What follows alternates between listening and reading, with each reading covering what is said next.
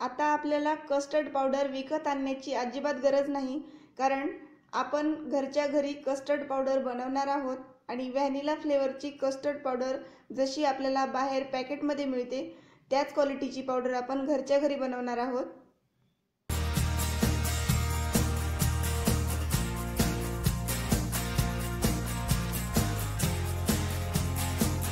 Custard powder बनवण्यासाठी सगळ्यात आधी आपल्याला एक वाटी साखर घ्यायची आहे आणि त्याचबरोबर इथे मी अर्धी वाटी कॉर्नफ्लॉवर घेतलेला आहे आणि अर्धी वाटी मिल्क पावडर घेतलेली आहे.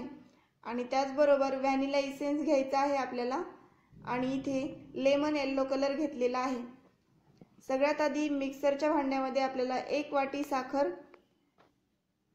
चांगली बारीक अशी वाटून घ्यायची आहे अशा प्रकारे. आणि वाटून घेतलेल्या साखरेमध्येच आपल्याला मिल्क पावडर घालायची आहे अर्धी वाटी. त्याचबरोबर अर्धी वाटी कॉर्नफ्लॉवर घालायचं आहे. आणि अर्धा चमचा मी इथे लेमन येल्लो कलर घातलेला आहे.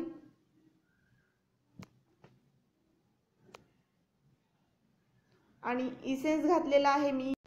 व्हॅनिला इसेन्स दोन चमचे घातलेला आहे. आता हे मिक्सरला अशा प्रकारे वाटून घ्यायचं आहे म्हणजेच मिक्स करून घ्यायचं आहे.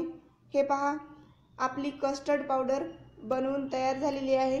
व्हॅनिला फ्लेवरची कस्टर्ड पावडर आपल्याला आईस्क्रीममध्ये लागते आणि ती आपण घरच्या घरी बनवलेली आहे.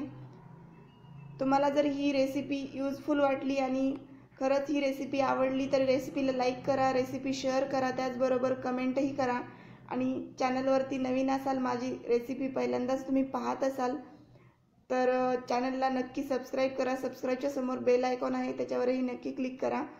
चला तर मग पुन्हा भेटूया अशाच एका छानशा रेसिपीसोबत तोपर्यंत धन्यवाद.